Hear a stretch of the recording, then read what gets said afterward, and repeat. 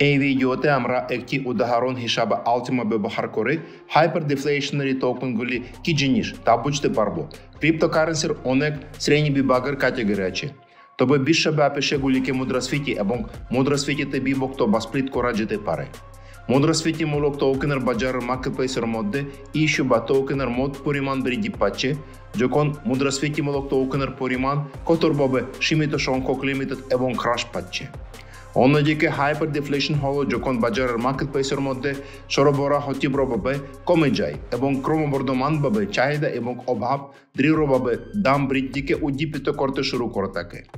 বাজারের মার্কেটপ্লেসের মধ্যে কয়েনের পরিমাণ সীমিত সংখ্যক লিমিটেড ও কমানো কেন প্রয়োজনীয়?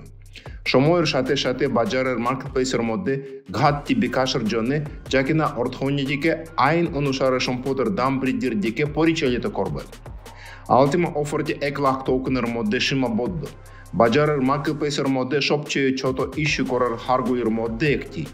Ниргамон кешимите шонкок лимитед кора ек матр дефлейшнери механизмной. Алтимар мул дефлейшн тул хоче халвинг. Ордек бахалин корар мул локкоти батаргетти холо, нотун токен иши кора комие, криптокаренси мудрасвите ротх кора.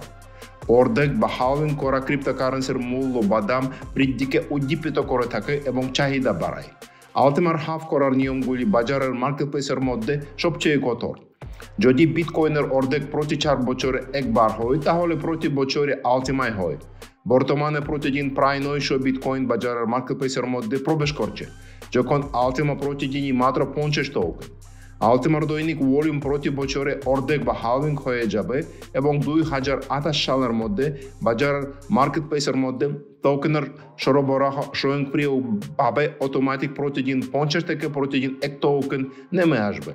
আরেকটি পণ্য যা আলটিমার সরবরাহ হ্রাস এবং টোকেন চাহিদা বৃদ্ধিতে অবদান রাখে তা হল স্মার্ট ওয়ালেট ওয়ালেটের প্রতিটি লেনদেনের জন্য একটি ফি চার্জ করা হয়ে থাকে যা স্বয়ংক্রিয়ভাবে অটোমেটিক পঞ্চাশ বছরের জন্য ব্লকচেইনে হিমায়িত বা ফ্রিজিং হয়ে থাকে যার ফলে আলটিমার টার্ন ওভার আরও হ্রাস পায় এবং দাম বৃদ্ধি পায় বাজারের মার্কেটপ্লেসের মধ্যে বেশ কিছু ডিফ্লেশনারি ক্রিপ্টোকারেন্সি আছে কিন্তু শুধুমাত্র আলটিমা সত্যিকারের হাইপার ডিফ্লেশনারি টোকেন হয়ে উঠেছে যারা আধুনিক প্রযুক্তিতে অর্থোপার্জন করতে চান তাদের জন্য এটি আলটিমাকে একটি নিরাপদ এবং লাভজনক সমাধান করে তোলে